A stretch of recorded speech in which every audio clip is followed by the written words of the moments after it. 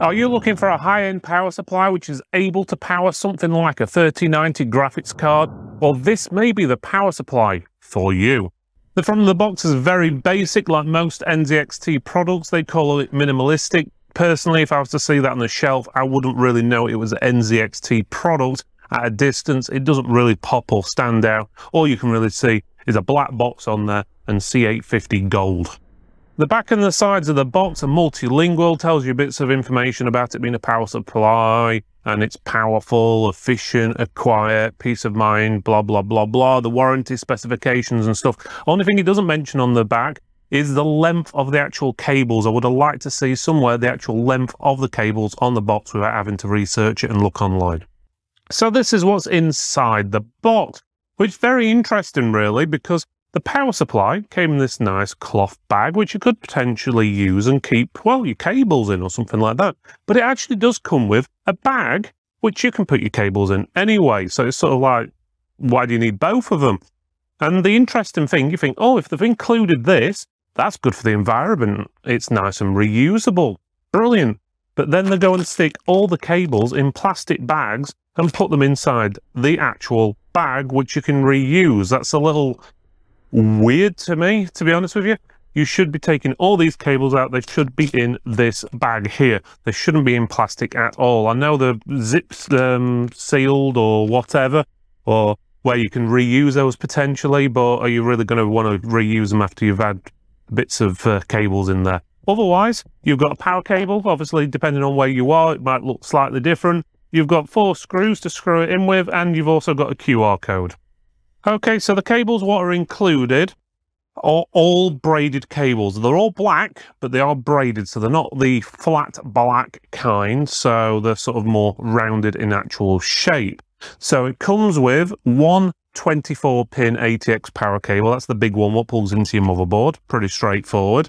You've also got two 4 plus 4 CPU cables as well, so that powers your CPU. So if your motherboard needs eight pin one, you've got an eight pin one, and you've also got a four or two eights, however you want it. You've got three cables here, which gives you two connections on each one for graphics cards. So that's six, six plus two connections for stuff like graphics cards and some peripherals. You've also got a total of six SATA connections to power things like hard drives or SSDs. And you've also got these cables here. They call them peripheral cables. They're, we call them Molex connections, but you've got six connections in total. Now, the actual length of the cables, the 24 pin cable, uh, which plugs into your motherboard, is 60 centimeters or 600 millimeters long. The 4 plus 4 CPU cables are 700 millimeters long. The 6 plus 2 pin PCI Express power, the ones for your graphics cards, they are 650 millimeters long to the first connector and then 150 millimeters to the second connector. The SATA ones are 500 millimeter long and 150 millimeters between each connector. And then the peripherals are 500, or also the Molex, uh, they are 500 millimeters long with 150 millimeter uh, between each of the connections. Bear in mind, these are all nylon sleeved. Okay, so we've got the actual power supply unit itself. It does come with a 10-year warranty. It's got a dynamic 120mm fluid dynamic bearing fan on there. We'll take a closer look in a few seconds. It's got zero RPM fan mode, which basically means the fan won't spin if it's under low load. So it makes it really quiet ideal for SLI or Crossfire if anyone still uses that technology. You've also got enough power in there to power something like a 3090 graphics card or even something like a, the RX 6900 XT. Uh, and it fits in any standard, basically ATX case. The cables are sleeved, which does help protect the cables from fraying and damage and obviously it's modular. So let's have a look at the actual power supply. So the bit what you would have on when you're looking at the side of your case and the bit you're going to see if you've got a shroud over the power supply is this bit here. You can see the NZXT writing and the model number there as well, which obviously 850 means its 850 watt power supply. On the top, which is the actual place I like to have this bit of information, um, because that's usually hidden with, uh, with your shroud, depending on how you've got your case set up. Um, but it does give you the specifications there if you do need them. The opposite side is exactly the same. On the back side, which is obviously where you plug your power cable in, you've got your rocker switch to turn it on and off. You've also got that um, slow or zero RPM fan mode to stop the fan spinning when it's under low load. Obviously, if you've got it on there and then you suddenly start gaming, the fan will then uh, suddenly kick in on its own and so forth.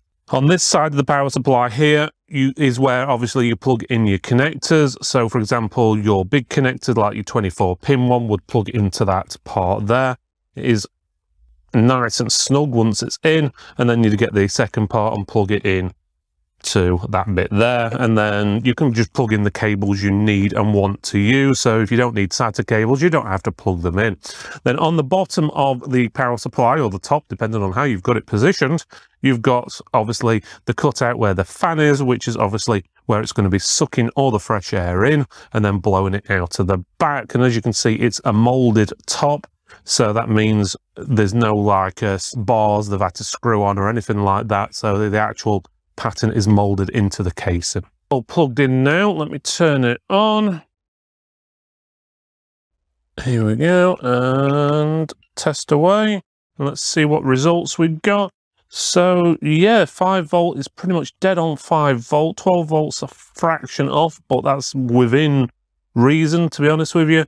3.3 volts, basically the same. Again, 12 volts the same. 5 volts, so basically that's pretty much spot on. That's as close as you're really going to get on the ratings on a power supply, so that's pretty good. Uh, we are using a Thermaltake tester, uh, as we don't have one for NZXT. Obviously, if they want to send some equipment over so we can test them more thoroughly, they are welcome to. So in conclusion, the power supply does, well, basically what it's supposed to do. It powers your machine, and we've got 850 watts worth of power there. It's gold rating. We tested it against other 850 watt gold power supplies and it worked just as well and used roughly the same amount of power as well, which means it's quite efficient, which it should be with it being a gold power supply.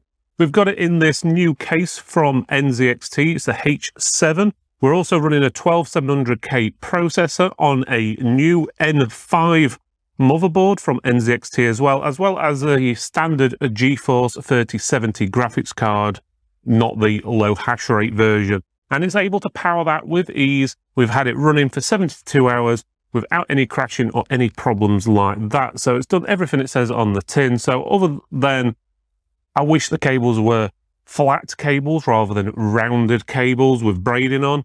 Uh, but again, that's down to preference. Otherwise, it does everything it should, and I do highly recommend it.